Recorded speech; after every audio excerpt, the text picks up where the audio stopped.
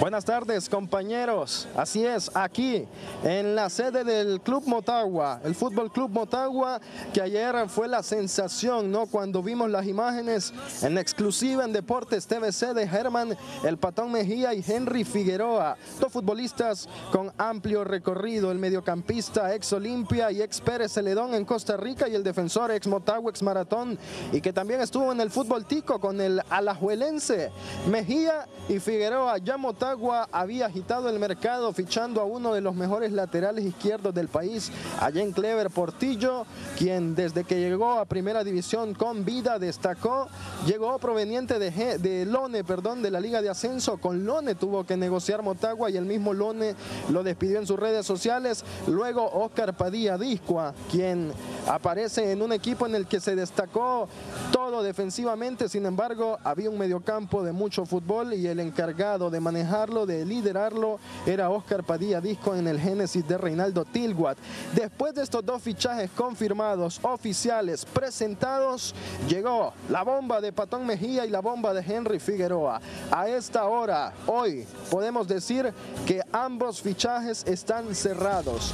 Hay acuerdo. Claro que con Figueroa fue más fácil porque Figueroa es de la casa, ya jugó en Motagua, ya ganó títulos en Motagua. Con Mejía hubo que negociar un poco más, pero finalmente eh, se nos ha confirmado que ya hay acuerdo entre el Patón Mejía y el Fútbol Club Motagua. Aquí en la sede, hoy no está Emilio Izaguirre, el encargado de manejar todo esto. Viajó a Escocia para disputar un partido de leyendas del Celtic. Sabemos muy bien lo que significa Emilio para el Celtic de Escocia, en donde estuvo más de una década disputando partidos importantes y ganando muchos títulos. Es el hombre encargado de las negociaciones y si hoy no está es por eso que no esperamos ninguna sorpresa por ahora en la casa del Fútbol Club Motagua, pero la noticia es esa. Hay acuerdo con el Patón Mejía y hay acuerdo con Henry Figueroa en los próximos días. Más detalles sobre estos fichajes y los que podrían venir para el equipo de Diego Martín Vázquez.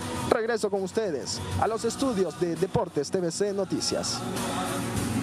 Erika, interesante, ¿eh? igual que pasó en el torneo anterior, estamos viendo el mismo patrón, pareciera, ¿eh? con el tema de Motagua.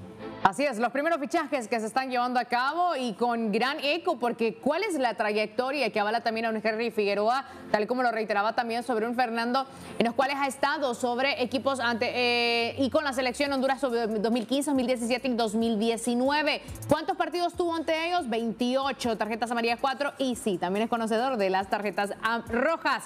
Ante un Motagua, en esa oportunidad en las cuales estuvo del 2012 al 2019, 130 y 25 siete tarjetas amarillas en los cuales tuvo en esos partidos y seis eh, tarjetas rojas. Sobre la Liga Deportiva Alajuelense en el 2019, a pesar de la condición en las cuales también se enfrentó al estar en Costa Rica, 34 oportunidades en partidos, 10 tarjetas amarillas y una tan sola roja.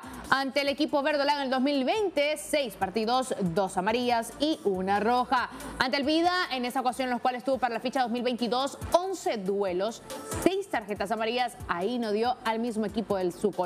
En su totalidad son 209 partidos. Tarjetas amarillas 49 y 9 amonestaciones a la máxima expulsión para tener que dejar a su equipo con uno menos. Así que sobre esta trayectoria de los equipos en los cuales ha estado, sabemos de lo que representa también sobre la carrera de un Henry Figueroa.